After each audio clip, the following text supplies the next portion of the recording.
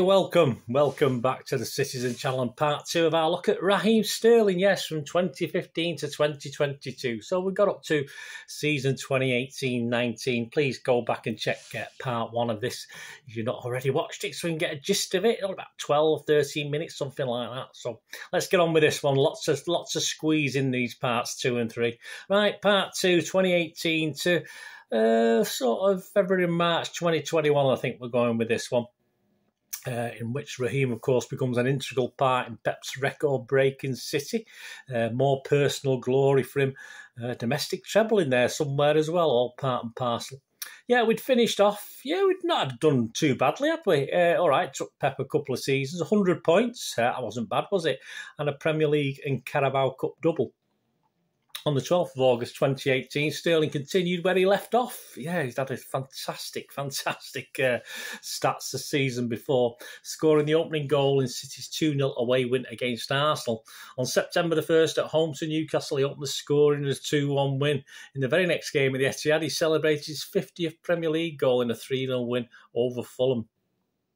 In November 2018, he signed a three year extension. Yes, it'd been intimated or hinted at the previous season. I don't think he quite got parity with uh, KDB and Sergio, which is what he wanted wage wise, but I'm sure he got a bit of a rise.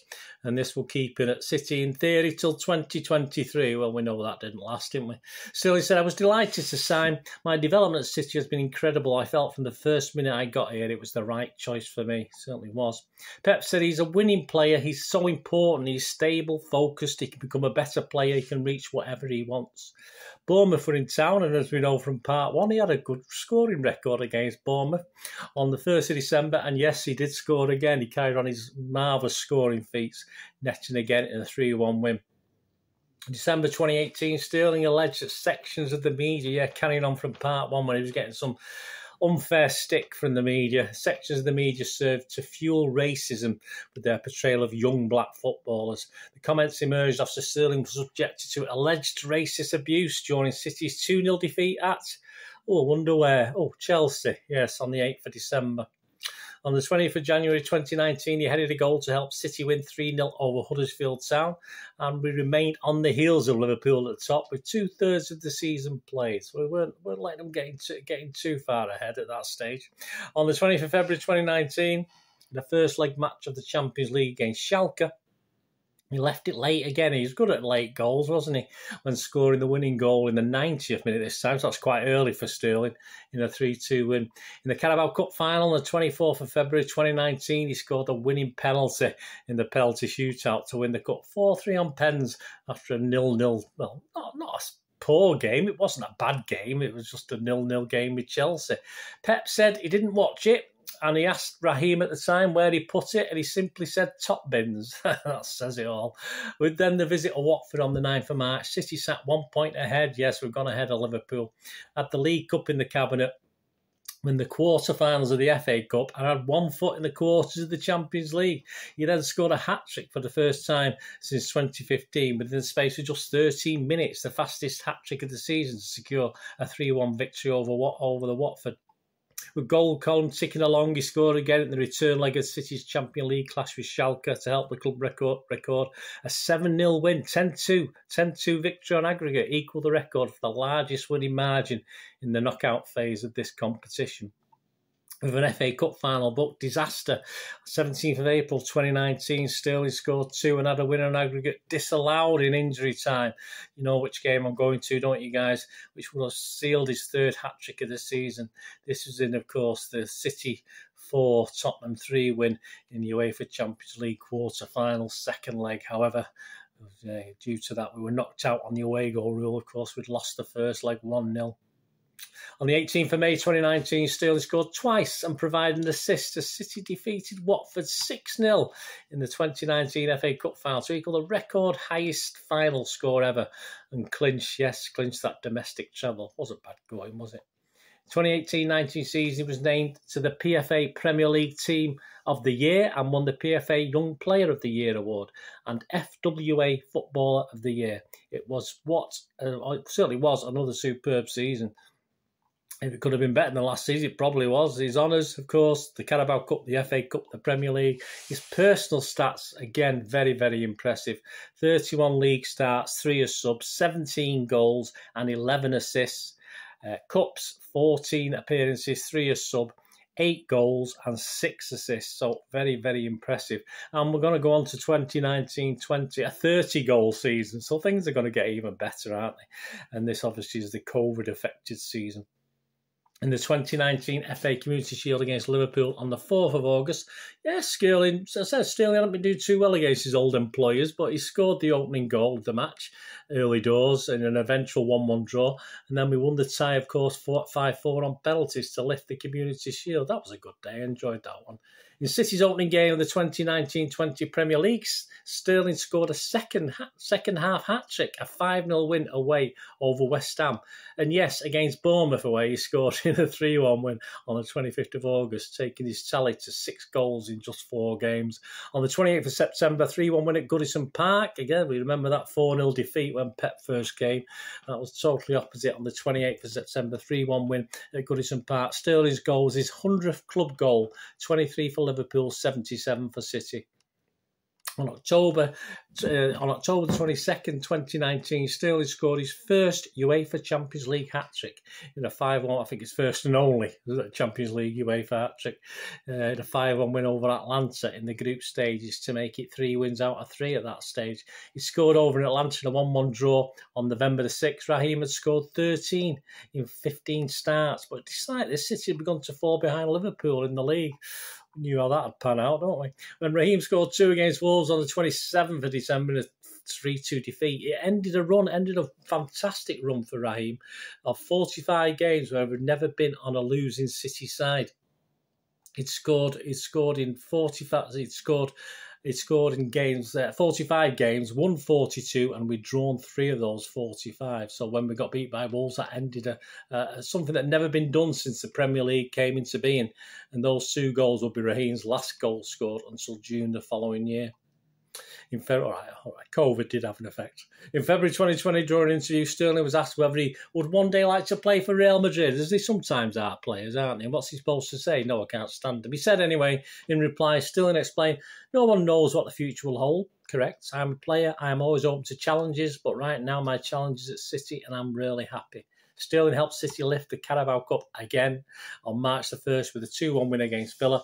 And after a disappointing 2 0 loss at Old Trafford, uh, with City over 20 points behind Liverpool, the season was halted for COVID. Not the greatest time to finish it. Not that we've got to uh, play on at some stage. If they cancelled it and not Liverpool on the head, that would have been fine.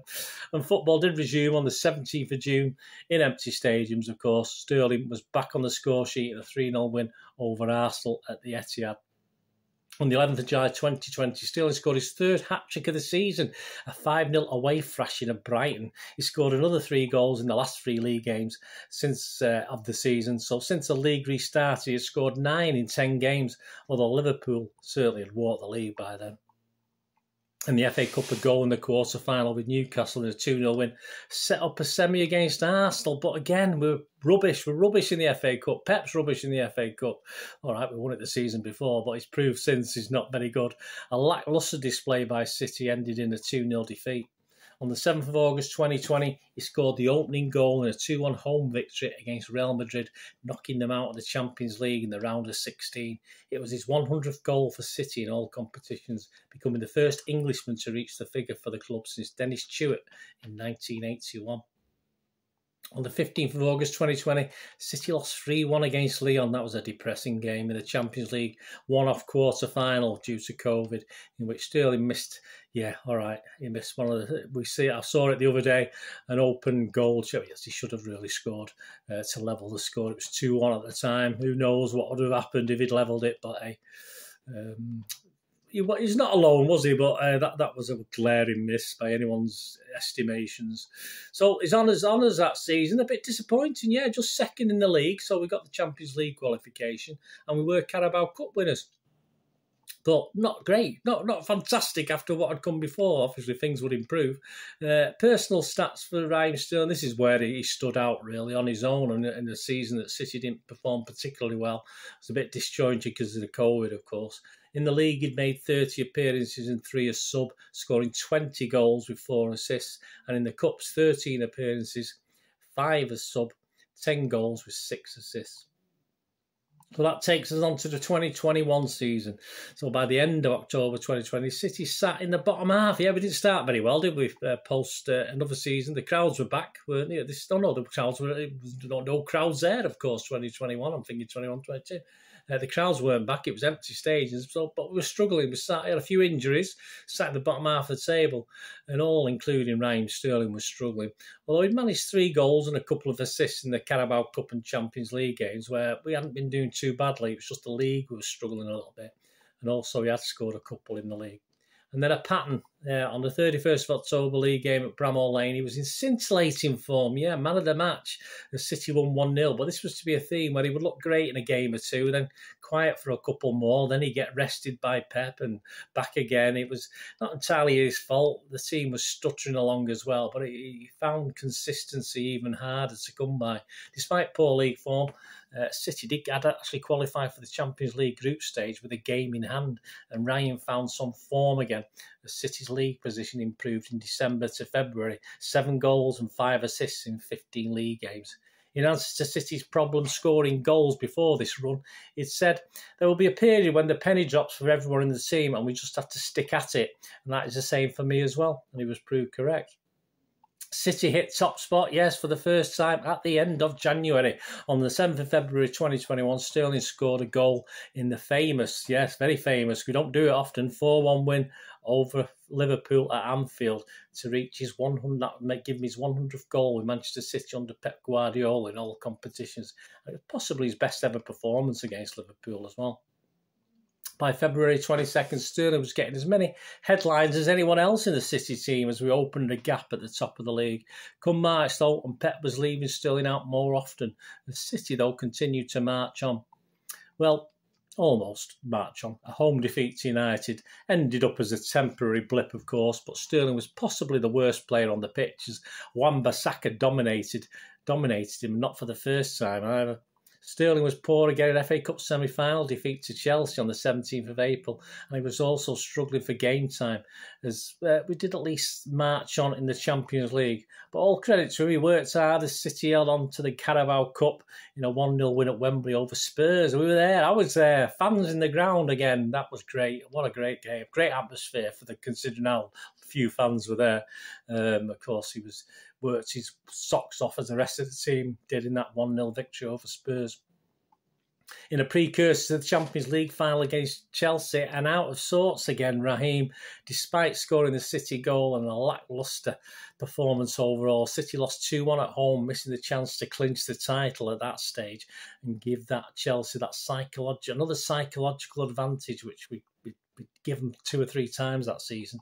But we did lift the title with three games to go. So please join me, part three, as Pep makes decisions with Sterling with the ramifications both on and off the pitch. And we look forward to the Champions League and the last season, the next season, which of course will be Raheem's last with us. So please join me for that. And as I said, please, if you haven't watched part one, if you've watched this, go back and watch part one as well. Anyway, thanks for watching, guys. Please let me know your memories of Raheem.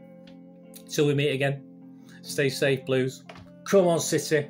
Thanks for watching. Bye for now.